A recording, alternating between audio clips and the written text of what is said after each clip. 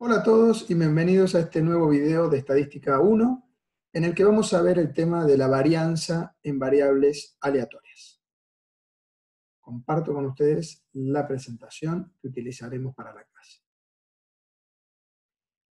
Bueno, como aquí podemos ver, la varianza, ¿sí? tal como también lo hemos visto en, en la parte de estadística descriptiva, ¿sí? es una medida de dispersión.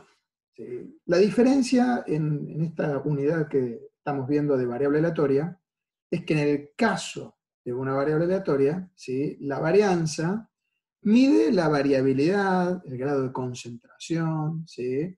de los valores de la variable respecto a su esperanza matemática, ¿sí? en lugar de respecto a su media. ¿Se acuerdan que la varianza, cuando vimos medidas descriptivas, ¿sí? era una media de dispersión que se calculaba como el promedio de los desvíos de la variable, las diferencias entre cada observación de la variable y la media de ese conjunto de observaciones, elevados esos desvíos al cuadrado. ¿sí?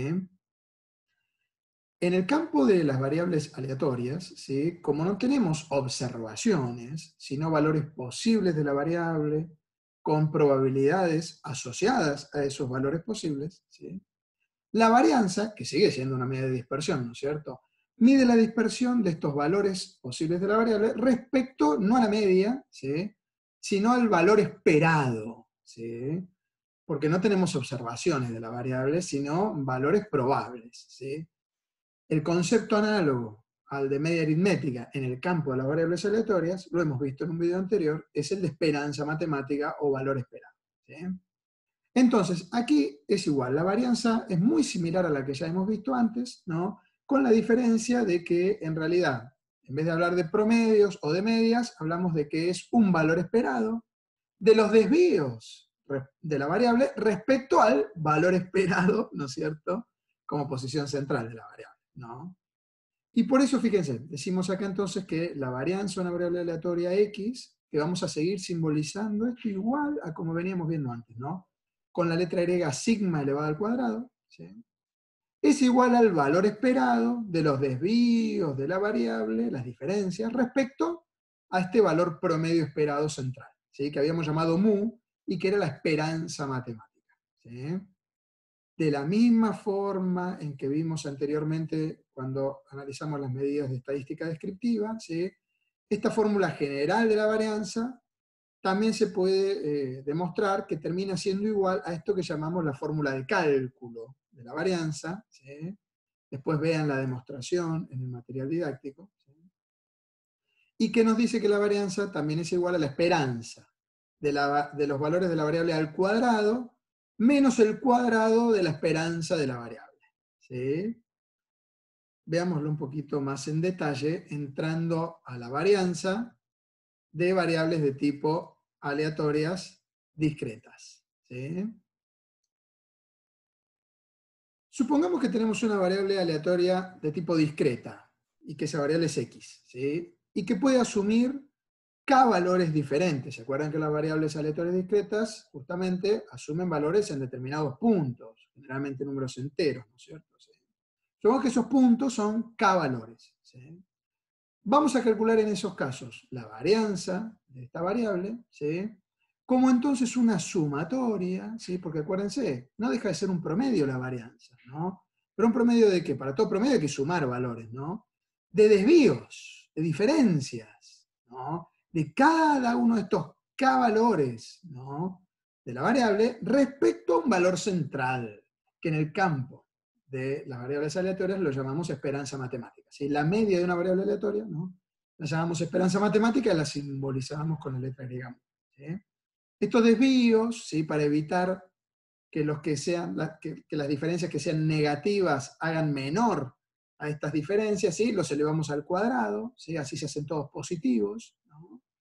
Y de esa manera nos sirve como una medida válida de variabilidad, ¿no es cierto? Porque esa es la varianza, no una medida de dispersión, ¿no? Pero nos interesan las distancias, ¿no? las diferencias entre la media y eh, el valor central que representa la esperanza matemática. ¿cierto? ¿Sí? No tanto si son por debajo o si son por arriba esas diferencias, ¿no? Por eso estamos elevando el cuadrado, ¿sí? Pero, como claro, hay valores de la variable que son más probables que otros, ¿sí? y al revés también, hay valores de la variable que son menos probables que otros, es importante ponderar ¿no? a estas diferencias elevadas al cuadrado por la probabilidad que tenga cada uno de estos k valores de la variable. Usar la función de cuantía, ¿no es cierto? ¿Sí? Para ponderar estos, estos desvíos o estas diferencias de cada valor de la variable respecto a la media. ¿De acuerdo? Elevados al cuadrado. Eh, como tarea o como recomendada, ¿no es cierto? Calculen la varianza para las, aplicaciones de variable aleatoria discreta que hemos visto en ejemplos anteriores nosotros, en videos anteriores de esta presentación. ¿De acuerdo? ¿Sí? Traten de aplicar esta fórmula. De todas maneras, enseguida vamos a ver un ejemplo también En el caso de las variables aleatorias continuas, es, decir, suponiendo que X sea una variable aleatoria continua, ¿sí? La fórmula de la varianza es muy parecida, pero en lugar de sumar vamos a integrar. ¿sí? Que esta es la operación análoga en el campo continuo. En vez de sumar, como no tenemos valores puntuales, sino que tenemos mm, valores continuos de la variable, ¿sí? tenemos que integrar, buscar áreas debajo de la función de densidad. ¿no? Vamos a integrar entonces entre menos infinito e infinito, o si conocemos los límites entre los que existe la variable, entre su valor mínimo y su valor máximo, a los desvíos de la variable x respecto a su valor esperado o esperanza matemática elevados al cuadrado. Y en lugar de ponderar por la función de cuantía, como aquí estamos en el campo continuo, tenemos que ponderar, multiplicar significa eso, ¿no? Por, perdón, por la función de densidad, por f de x diferencial de x, ¿de acuerdo? ¿Sí? Así que es la misma fórmula, pero en vez de sumatorio tenemos una integral, y en vez de función de cuantía multiplicamos por la función de densidad obviamente que va a haber que resolver esta integral, ¿no es cierto? De vuelta, como tarea, traten de calcular ustedes la varianza para las aplicaciones de variable aleatoria continua, para los ejemplos que hemos visto antes de variable aleatoria continua, ¿sí? en videos anteriores. ¿Cuáles son las propiedades de la varianza? Tanto para una variable aleatoria como para una variable observada son muy similares, y ya las hemos visto antes. La primera era que la varianza no puede ser una magnitud negativa, ¿sí? es siempre una magnitud no negativa, ¿sí? mayor o igual a cero. ¿sí? O que cuando es igual a cero significa que estamos frente a una constante, no, no tiene variabilidad.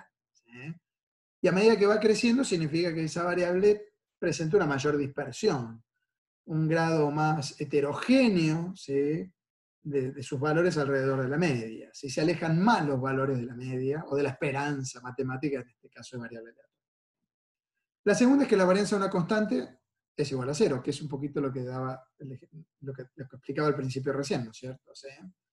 si la variable en realidad es una constante, no varía, no tiene dispersión alrededor de la esperanza. Son todos los valores igual a la esperanza. Acuérdense que la esperanza de una constante es la misma constante. La varianza de una constante entonces va a ser cero, no, no hay variación, no hay dispersión alrededor de la esperanza. La tercera es que la varianza de una constante por una variable es la constante al cuadrado por la varianza de la variable. ¿Y esto por qué era así? ¿Se acuerdan que en el caso de la esperanza no es igual a esta propiedad? La esperanza de una constante por una variable era igual a la constante por la esperanza de la variable, sin sacarla al cuadrado. Aquí la extremos al cuadrado, ¿por qué? Porque la varianza x, acuérdense que está en unidades medidas al cuadrado. La unidad de medida de la varianza es en la unidad de la variable, pero elevada al cuadrado. Entonces, si vamos a sacar algo fuera de la varianza, hay que tener en cuenta que está ya elevado al cuadrado, y entonces por eso es que sale la constante elevada al cuadrado. Cuidado con eso. La cuarta propiedad es que la varianza de una constante más una variable es la varianza de la variable. Porque claro, si recordamos la segunda propiedad, que es que la varianza de una constante es igual a cero, ¿sí? En realidad la varianza de una constante más una variable es la varianza de la constante más la varianza de la variable. Pero como la varianza de la constante es igual a cero, nos queda igual a la varianza de la variable.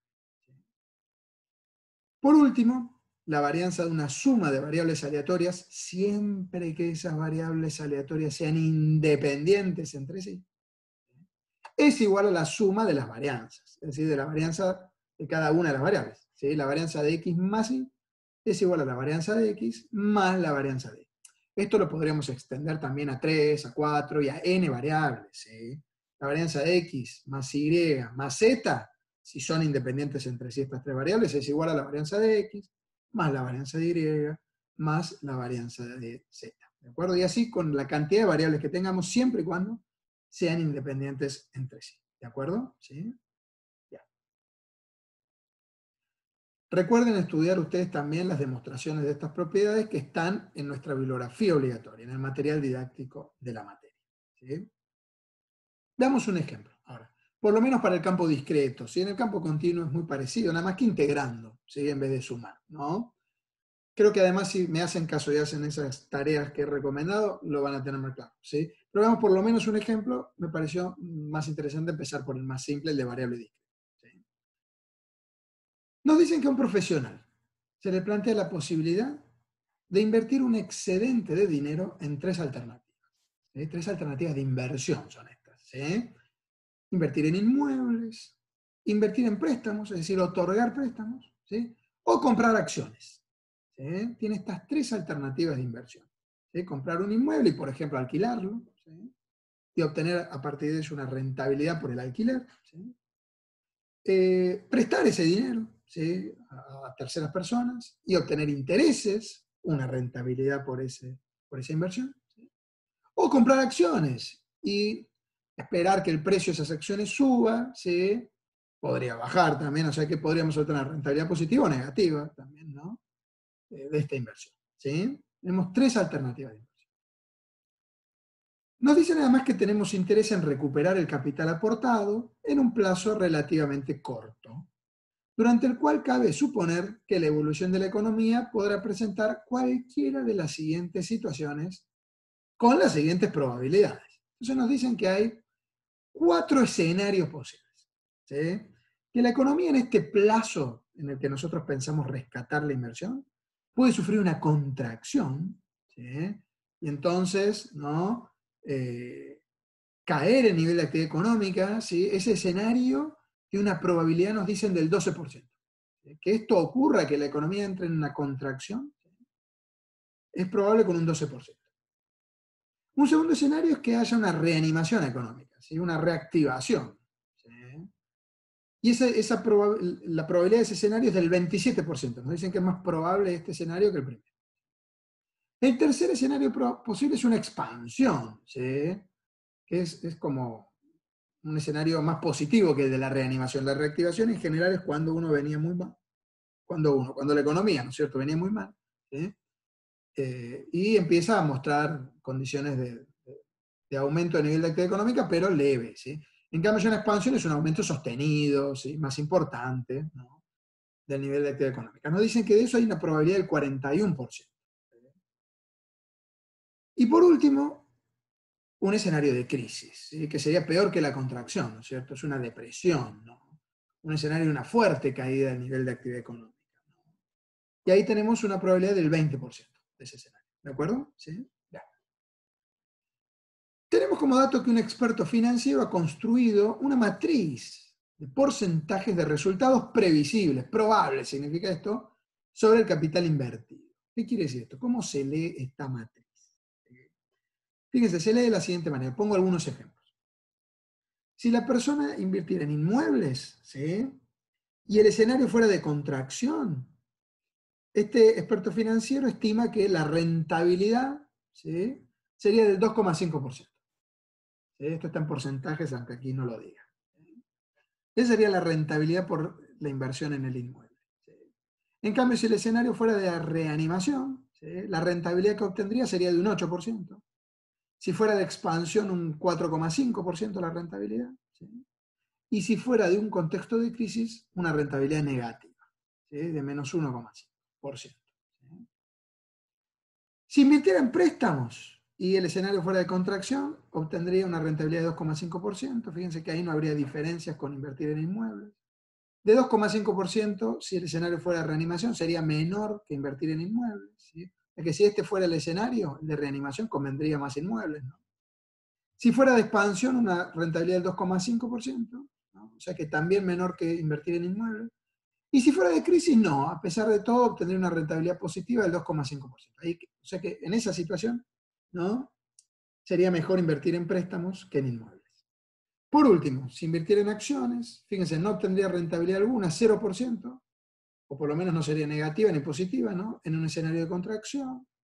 De 7,5% positiva, muy buena, pero un poco menor que en inmuebles en reanimación, aunque mayor que en préstamos.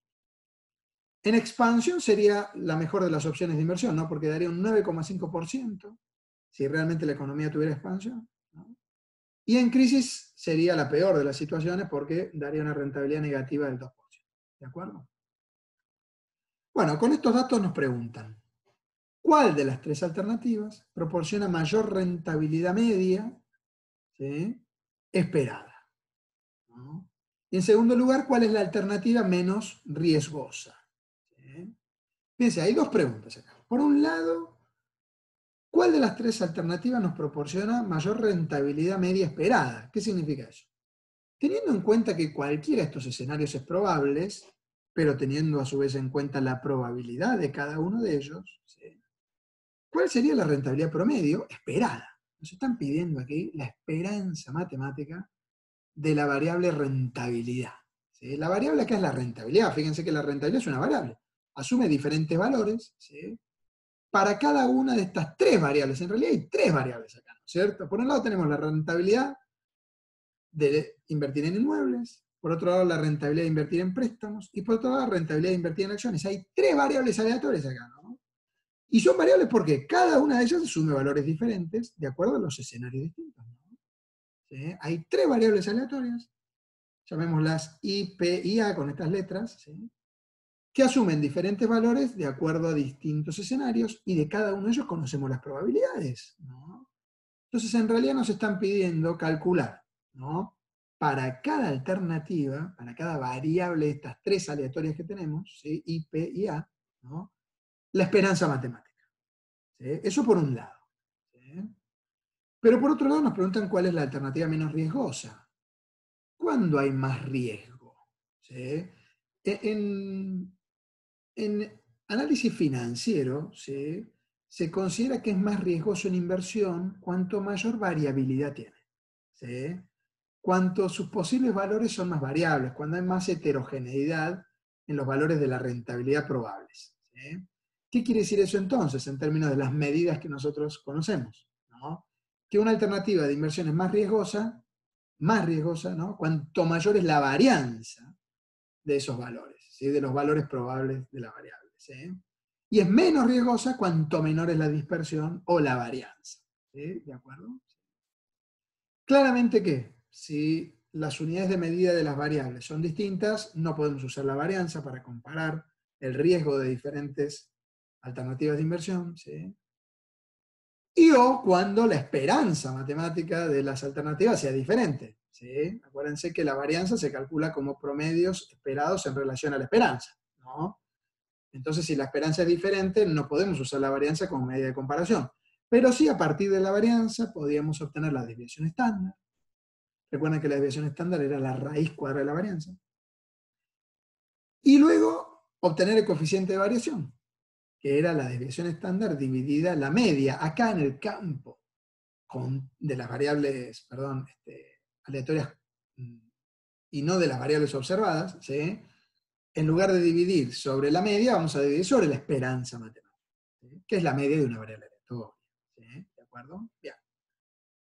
Y que el coeficiente de variación sí era una medida que nos permitía comparar distintas eh, distribuciones, ¿sí? en este caso, las diferentes alternativas de inversión, la dispersión de diferentes alternativas de inversión. ¿De acuerdo? Entonces, ¿cómo vamos a saber cuál alternativa es menos riesgosa? Viendo cuál de las tres variables aleatorias tiene menor coeficiente de variación. ¿De acuerdo? ¿Qué alternativa de inversión es la que nos presenta menor coeficiente de variación esperado, ¿no es cierto? Porque estos no son valores observados, ¿de acuerdo? Así como hablamos de esperanza, de rentabilidad media esperada, vamos a hablar de coeficiente de variación esperado. Lo mismo con la varianza y, la desviación. ¿De acuerdo? Veamos entonces cómo se resuelve. Calculemos primero la esperanza de cada una de estas tres alternativas de inversión. Como, fíjense, estamos frente a un caso de variables discretas, ¿no? Cada una de estas tres variables, inversión, préstamo y acciones, asume valores puntuales, discretos. Cada una asume solo cuatro valores. Fíjense que aquí hay un ejemplo clarito en donde no necesariamente son enteros los valores de una variable discreta. ¿no? Fíjense que acá asume 2,5%, este 4,5%, este menos 1,5%. No son enteros necesariamente. Bueno, estrictamente hablando, en realidad la naturaleza de esta variable, ¿cuál es? ¿Eh? La naturaleza de esta variable es continua en realidad, porque está medida en porcentaje, ¿no es cierto? Y la rentabilidad se mide, no se cuenta. ¿sí? estrictamente la naturaleza de este ejemplo, de las variables de este ejemplo, es continua. ¿sí? Ahora, como asumen tan pocos valores cada, cada una de estas variables, ¿no? cuatro valores posibles tienen, ¿no? vamos a tratarla como si fuera una variable discreta, ¿de acuerdo? Aunque por su naturaleza sea continua, ¿está claro? Una cosa es la naturaleza de la variable, como aquí los valores de la variable surgen de mediciones, la rentabilidad se mide, no se cuenta. La naturaleza de la variable es continua. Pero al asumir tan pocos valores y ser valores puntuales, vamos a tratarla a esta variable como si fuera una discreta. ¿Qué significa tratarla? Por ejemplo, que para calcular la esperanza matemática vamos a usar la fórmula de la esperanza para variables aleatorias discretas y no para variables aleatorias continuas, porque de hecho acá no podríamos integrar, ¿no es cierto? No tengo la función de densidad. Sin embargo, sí tengo los valores de la variable en cada punto, en cada uno de estos cuatro puntos. Y las probabilidades en estos cuatro puntos, ¿no? que son este 12%, este 27%, esto no es otra cosa que, tenemos acá que la llamada función de cuantía, ¿no es cierto? Para cada uno de estos valores de x, ¿no? De cada una de estas x tengo las probabilidades asociadas, Para cada punto. Y eso es lo que llamamos una función de cuantía, Entonces vamos a suponer que la variable o la vamos a tratar a la variable como si fuera discreta, ¿de acuerdo? Aunque su naturaleza sea continua. Y entonces, ¿qué hacemos? Para cada una de estas tres variables multiplicamos los valores posibles de la variable, ¿sí? En el caso de la variable inversión eran 2,5, 8, 4,5 y menos 1,5, fíjense que por eso tiene un menos acá, ¿no? A pesar de que la esperanza es una suma, pero como este es un valor negativo, lo vamos a tener que restar, ¿no? multiplicados cada uno de ellos por las probabilidades de los escenarios correspondientes. ¿Por qué a 2,5 le multiplicamos 0,12? Volvemos atrás. Porque este valor probable 2,5 de rentabilidad de los inmuebles eran bajo el escenario de contracción, cuya probabilidad es 0,12, o 12%. Por eso es que acá a 2,5 lo multiplicamos por 0,2. Luego sumamos, porque la esperanza es un promedio, acuérdense, vamos sumando que era el segundo valor probable de la variable, por 0,27. ¿Por qué? Porque el segundo valor de la variable posible inmuebles, este 8, era bajo el escenario de reanimación, cuya probabilidad es 0,27. Bueno, y así sucesivamente. Vamos a sumarle 4,5 por 0,41 y más menos 1,5, entonces se transforma en negativo ese término, por 0,20. ¿De acuerdo? Y lo mismo hacemos con préstamos y con acciones. 2,5 por 0,12, más 2,5 por 0,27, y así sucesivamente, hasta más 2,5 por 0,20 para préstamos. Y para acciones 0 por 0,12, más 0,20, más, perdón, 7,5 por 0,27, y así hasta menos 2 por 0,20. ¿De acuerdo? Los resultados finales, fíjense, son 4,01 como la rentabilidad media esperada de, los, de invertir en inmuebles, 2,5%, ¿no? Estamos hablando de rentabilidad media esperada si invirtiéramos en préstamos, y 5,52% de rentabilidad media esperada si invirtiéramos en acciones. ¿Cuál de las tres alternativas nos arroja mayor rentabilidad media esperada? ¿No? Fíjense que claramente la alternativa de las acciones. Por eso concluimos que la alternativa de las acciones proporciona mayor rentabilidad media esperada. ¿Está claro? ¿Sí? Esta sería la rentabilidad promedio esperada de invertir en acciones, de acuerdo un 5,52%. De acuerdo a estos escenarios posibles que hemos visto. Veamos ahora cuál era la, más la menos riesgosa, nos preguntaban. ¿no? ¿Cuál tiene menor coeficiente de variación? Para calcular el coeficiente de variación, primero necesitamos la desviación estándar, que irá dividida sobre la esperanza matemática, que ya la tenemos calculada acá. Pero para calcular la desviación estándar, a su vez hace falta la varianza porque la desviación estándar era la raíz cuadrada de la varianza. Entonces, ¿qué hacemos? Calculamos la varianza de cada una de estas tres variables aleatorias que tenemos acá. Inversión, préstamos y acciones. ¿Cómo dijimos que se calculaba la varianza de una variable aleatoria que está tratada como discreta? Volvamos atrás. Sumando las diferencias entre cada valor de la variable y la esperanza matemática de esa variable, elevas esas diferencias al cuadrado y multiplicando cada una de estas diferencias al cuadrado por la probabilidad correspondiente. Veámoslo en este ejemplo. Fíjense, el primer valor probable de la variable inversión era 2,5, ¿se acuerdan? Vuelvo acá, ¿no? 2,5. Le restemos a 2,5 la esperanza matemática de la variable inversión, que era, acá la tengo, ¿no? Fíjense, la esperanza matemática de la inversión nos había dado 4,01. Yo hago 2,5 menos 4,01. Elevo al cuadrado esta diferencia y multiplico por la probabilidad del escenario correspondiente a este 2,5. ¿Se acuerdan que este escenario era el escenario de la contracción que tenía una probabilidad del 12%, ¿no? Acá lo tengo, ¿no? Este 2,5 estaba asociado a una probabilidad del 12%, 0,2. Entonces por eso multiplicamos este desvío al cuadrado por 0,2. Más 8, que es el segundo valor probable de la variable inmuebles, menos de vuelta la esperanza de inmuebles, que era 4,01 elevada esta diferencia al cuadrado por la probabilidad de este 8, que era 0,27. El escenario reanimación, ¿se acuerdan? Que tenía 0,27 de probabilidad. Más 4,5, que es el tercer valor probable de la rentabilidad, menos la media o la esperanza de esta variable que era 4,01 elevado al cuadrado, por la probabilidad de este 4,5, que fíjense, 4,5 era la expansión, tenía probabilidad de 0,41.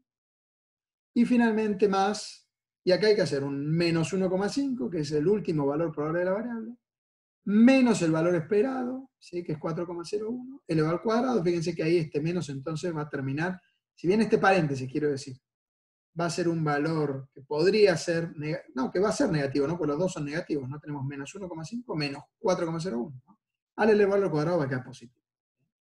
Por 0,20, que era la probabilidad de que la rentabilidad de, la, de los inmuebles fuera eh, menos 1,5 bajo el escenario de la crisis.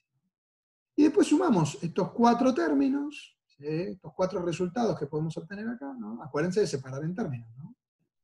y vamos a obtener una varianza de 10,74. Si lo hacemos para préstamos, ¿sí? se los dejo a ustedes, ¿no? pero van a ver que da que es igual a cero, como si fuera una constante. ¿no? En realidad no era una constante, fíjense que los préstamos asumían 2,5, Ah, perdón, perdón, digo mal, digo mal. Sí, ¿no? Fíjense que la inversión de préstamos dio 2,5 en todos los escenarios, ¿no? A ver, vuelvo atrás, no me había percatado eso antes, ¿no? Sí, fíjense que en todos los escenarios invertir en préstamos nos daba 2,5. Claro, porque uno cuando pacta un préstamo de entrada ya pacta el interés, el interés es fijo, ¿no es cierto? Es una inversión de renta fija, se dice, ¿no? Un préstamo distinto de, evidentemente, los inmuebles. Los inmuebles supongo que también, Debe pasar que acá no está esperando la rentabilidad de un alquiler, sino la rentabilidad por variaciones de precios, como en las acciones, ¿no es cierto? Más claro, porque decía que era en el corto plazo, ¿se acuerdan de esta inversión? Sí, sí.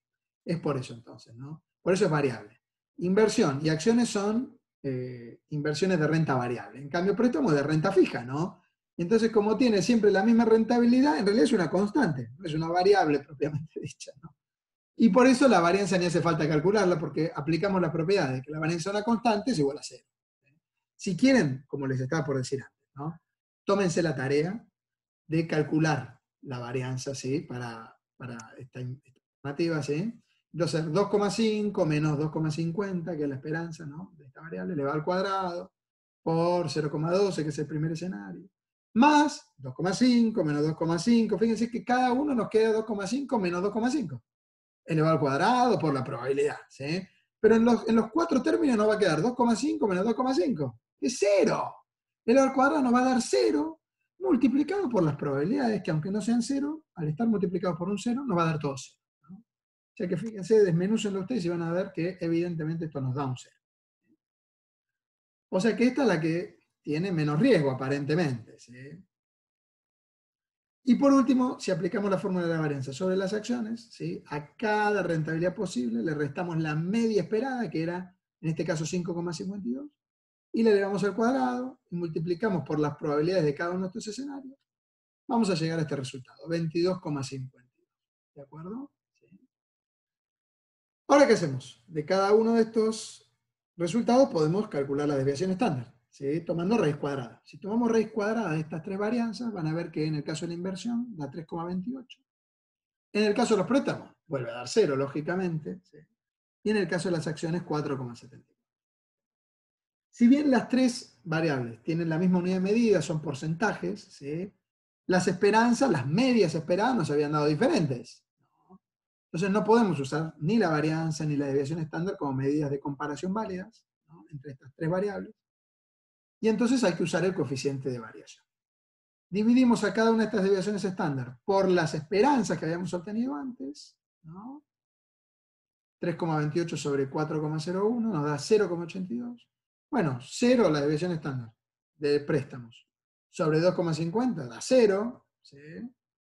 Y la alternativa de las acciones es 4,74 su deviación estándar sobre 5,52 que era su esperanza nos da 0,85. ¿De acuerdo?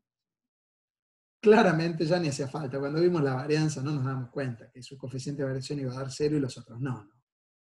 Pero bueno, por las dudas no, tuvieron un caso con 0, también es bueno cómo llegar hasta el coeficiente de variación. ¿De acuerdo? Sí, por eso me gustó mucho este ejemplo. Aquí claramente la inversión en préstamos es la menos riesgosa porque menor es su coeficiente de variación. Si nos hubieran preguntado cuál es la alternativa de inversión más arriesgada, la respuesta correcta hubiera sido que esa alternativa es la compra de acciones, ¿no? porque fíjense que tiene el mayor coeficiente de variación, 0,85. ¿De acuerdo? ¿Sí? Muy bien. Hagamos un resumen de lo visto hasta ahora sobre variables aleatorias discretas y variables aleatorias continuas. ¿Sí? ¿Qué hemos visto hasta ahora desde que empezamos esta unidad 4 de variables aleatorias? ¿Sí? Las funciones que nos permiten calcular probabilidades para uno y otro tipo de variables son diferentes. En el caso de variables aleatorias discretas, o que tratemos como discretas, la función de probabilidad la llamamos función de cuantía, arroja directamente probabilidades de que la variable asuma determinados valores puntuales, ¿sí? por ponemos que esta función de cuantía es igual a la probabilidad de que x asuma un valor particular. En cambio, en el campo continuo, usamos funciones de densidad, y la densidad no arroja directamente probabilidades, porque la probabilidad de que la variable asuma un valor puntual de la variable, decimos que es igual a cero, porque la variable eh, asume valores en intervalos, no valores puntuales, o cada valor puntual es muy poco probable, al lado de la infinidad de valores posibles que asume esta variable. Entonces tiende a cero esa probabilidad. ¿Cómo calculamos entonces probabilidades a partir de una función de densidad? ¿Se acuerdan? Integrando esa función. Entre determinados valores, o hasta, o más allá de determinados valores. Buscando superficies debajo de la función. Pero no buscando eh, reemplazar en la función de densidad a un valor puntual. ¿De acuerdo? Lo segundo que vimos es que en ambos casos, tanto la función de cuantía como la función de densidad no pueden asumir valores negativos. Para todo valor de x, no importa cuáles sean sus valores probables, ¿no? estas funciones no pueden asumir valores negativos. Y la tercera, que es muy parecida, pero con notaciones diferentes, es que la suma de todas las probabilidades, las probabilidades de cada uno de los valores de la variable en el campo discreto, tiene que ser igual a 1 y que lo análogo en el campo continuo, la integral debajo de toda la función de densidad, tiene que ser igual a 1. En el caso de la función de probabilidad acumulada, en el campo discreto la llamamos función de acumulación, mientras que en el campo continuo función de distribución. ¿Cómo se obtienen? En el campo discreto, sumando probabilidades no acumuladas, acumulando probabilidades no acumuladas, usando la función de cuantía, ¿sí? e ir sumando los valores que arroja esa función de cuantía. En el campo continuo, integrando la función de densidad hasta ese valor que nos, del cual nos interesa calcular esa probabilidad acumulada. Encontrando la superficie debajo de la función de densidad hasta ese valor de interés de nuestra parte. Si queremos calcular probabilidades desacumuladas, podemos recurrir a uno menos la probabilidad acumulada, tanto en un caso en el campo de la discreta como en el caso de la continua. Aprovechar la función de acumulación y la función de distribución, ¿sí? y la ley del complemento, ¿no? para encontrar estas probabilidades desacumuladas. Si queremos calcular probabilidades ni acumuladas ni desacumuladas, sino entre dos valores, ¿no? lo que podemos hacer es sumar las probabilidades de todos esos valores incluidos ¿no? en el campo discreto, o integrar entre esos dos valores a la función de densidad en el campo continuo. Y lo último que hemos estado viendo, en el video anterior, la esperanza matemática. ¿sí? Para el caso discreto, se obtiene sumando los productos entre cada valor de la variable, cada valor puntual de la variable y sus probabilidades asociadas, para todos los valores de la variable. Y en el campo continuo es una integral, ¿sí? para todo el campo de variación de la variable, de x por la función de densidad. Hay que resolver esta integral. Y respecto a la varianza, que es lo que hemos visto en esta clase, en el campo discreto también es la suma, ¿sí? pero no de los valores de la variable, sino de los valores de la variable en desvío respecto a la esperanza de la variable elevados al cuadrado, y recién ahí ponderados por las probabilidades de cada uno de estos valores. Y en el campo continuo es la integral de la diferencia entre x y la esperanza de x elevada a esa diferencia al cuadrado por la función de densidad. ¿De acuerdo? Bueno, y hasta aquí entonces tenemos un resumen de lo que hemos visto hasta el momento en la unidad 4 sobre variable aleatoria. Si nos queda un solo tema, ¿sí? que es el teorema de la desigualdad de Chebyshev, ¿sí? y que es lo que vamos a ver en un próximo video. ¿De acuerdo? ¿Sí? Muy bien, hasta pronto entonces.